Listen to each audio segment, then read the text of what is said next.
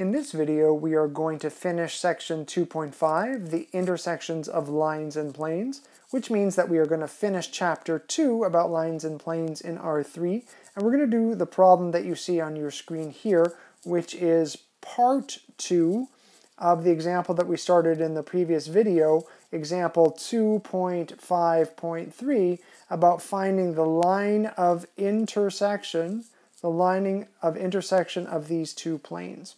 So method two that we're asked to do here is an algebraic method. The previous method was more of a geometric method in the previous video.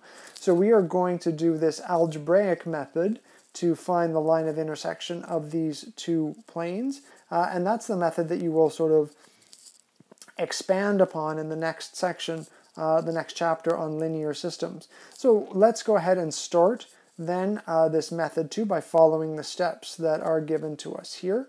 And uh, step number one says use elimination to reduce the number of variables. So elimination is the process of adding or subtracting multiples of equations from each other with the goal usually of getting rid of one variable.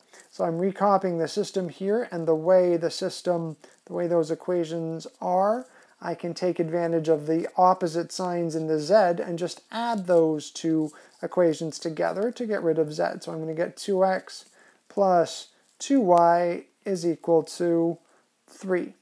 And uh, I mean, that's the result of that elimination step, but I could go a little bit further if I wanted to, and actually I know that I will want to for what's coming next. So I'm going to divide both of those sides by 2, and then I'm going to solve for y. So y is 3 halves minus x. Now, the next step, step 2, says to let one variable be free, and that's probably something that's new to you. I'll explain that in a moment, and represent its value by a parameter t. So I'm going to do that, which is usually part of the solution that you just do without explanation, but then I'm going to explain to you what's actually going on behind this, behind this step. So the way that I've set things up here, it makes sense to let x be a free variable. And that means that I want to let x be represented by a parameter t for any t in r. And that means that since we've solved for y in terms of x, y is 3 halves minus t. Now, what's really going on there? Before we go to the next step, let me explain. Let me explain what a free variable is. Uh, explanation, I don't think there's an I, explanation of what's going on here. We've done elimination, but it hasn't given us a full solution. It's only given us this, right? And there are many, many points that satisfy this. And in fact, what we really want to do is we want to find all points that satisfy. We want to find all points that satisfy y is equal to 3 halves minus x. And if we were going about this a bit naively, we might do what we've done in previous situations. We might uh, choose a value for one and then solve for the remaining, right? Uh, we've done that when we were picking points in a plane and that sort of thing. So let's let's proceed with that kind of procedure uh, in mind. If we let x equal 0, well, if x is equal to 0, y is then determined. y has to be 3 halves. Now, obviously that's not the only possibility. We could let x be 1 half. And if x is fixed at 1 half, y is also determined. y, y is 3 halves minus 1 half, which is 1.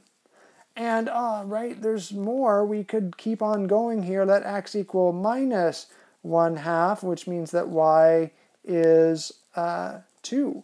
And we could keep on doing this forever, right? This idea of choosing a value for x and then calculating what y has to be in terms of that Well, that's exactly what is going on behind the free variable, right? Instead of saying, well, let's let x equals 0, let's let x equals 1 half, let's let x equals minus 1 half, let's let x equal t. So t represents all of our choices, right? t represents any possible choice, any choice that you could choose. And once you've made that choice, then y is determined in consequence, right? So in this case, we would be saying this is like we had chosen t equals 0. This is t equals 1 half. This is t equals minus 1 half, and so on and so forth. So a free variable is a variable that one can choose the value of, and one represents the choice of that by a parameter t. And that's why we say that t can be any value in R, right? So any value that you choose for t, you can then calculate in consequent what the value of y has to be.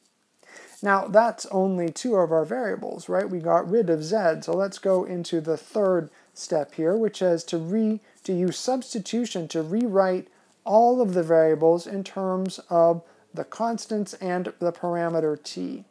So let's go back into one of the plane equations. It does not matter which one. I'm going to choose uh, pi 1's equation.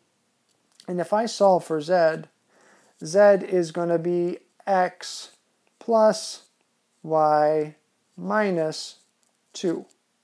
Now this tells me to rewrite all variables in terms of constants and t. So I'm going to substitute in what we have up here.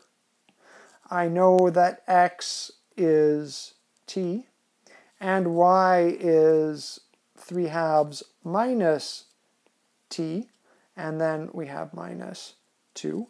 And so I can simplify those t's are going to cancel out, and then I'm going to end up with z is minus 1 half.